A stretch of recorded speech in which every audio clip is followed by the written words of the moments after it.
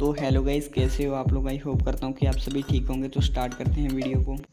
दोस्तों, क्या आप जानते हैं कि चॉकलेट खाने से कुत्ते की डेथ हो सकती है?